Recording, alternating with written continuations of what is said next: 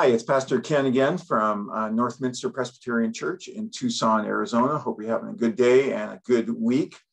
Uh, we've been looking at uh, scriptures from uh, our Presbyterian uh, mission uh, calendar, and there's a link at the bottom if you want to look at all the scriptures that are included in this day. I read through them all, and I decided that we'd look at fairly familiar story. We're not going to look at the whole story, uh, but the parable of the Good Samaritan.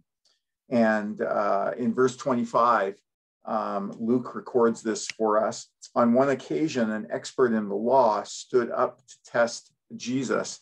Uh, in Matthew, it's uh, the Pharisees or some of the Pharisees that come to Jesus. Uh, here, Luke has decided that um, he's going to pick out one particular person who comes to test Jesus. And the word there for test means that they already know the answer uh, that uh, they want to hear. Uh, and they want to see if Jesus uh, knows the answer.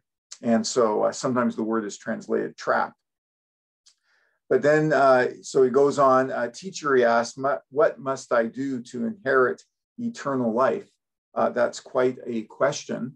Um, and and uh, Jesus comes back with a question, like he does many times What is written in the law? And this uh, lawyer replies, uh, or then he replied, How do you read it? And the lawyer replied, Love the Lord your God with all your heart and with all your soul and with all your strength and with all your mind, and love your neighbor as yourself. And then Jesus says, You have answered correctly. Jesus replied, Do this and you will live. You know, if uh, that person would have just stopped there, I think um, that would have been uh, pretty good. I think that uh, that that would have been a, a, a, good lesson for the day, but he doesn't. Uh, he goes on to say, and this is what happens if you try to test Jesus, right? But he wanted to justify himself. So he asked Jesus, and who is my neighbor? Wanting to justify himself, he asks, another question. And uh, this is where uh, this guy really gets into trouble and where the Pharisees get into trouble. Uh, this guy wants uh, Jesus to give a, some kind of activity that can be calculated in how you love God and how you love your neighbor. And instead of Jesus giving him an activity that he can somehow calculate or measure, uh, he points them in a direction. And the direction is first in the direction of God, and then second in the direction of the neighbor. In many ways, Jesus doesn't answer his question because uh, the question, in many ways, is not answerable because it's uh, different for each of us. Uh, the real answer uh, is that we will spend all our lives loving God with all our strength and all our heart and all our mind, with our whole being.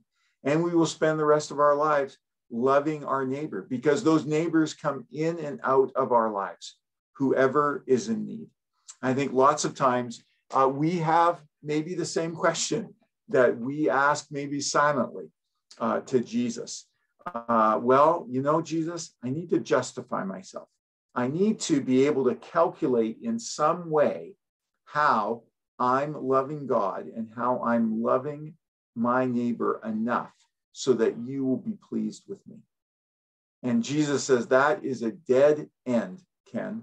You will never be able to do that, not even with the help of the Holy Spirit. You will fall, you will fail, you will make mistakes. Uh, but the most important thing is to keep looking in those two directions the vertical direction of my Father, of God, Yahweh, and your neighbor, whoever those neighbors are. And so uh, that is the freedom of the gospel, friends, uh, that it is not an activity that we, uh, again, calculate and how much we love God and then He'll love us back. It is rather the direction of our life.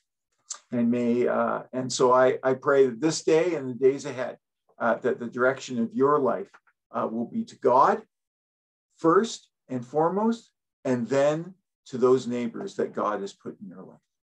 Hope you have a great day and a great week. Uh, be safe and uh, stay well.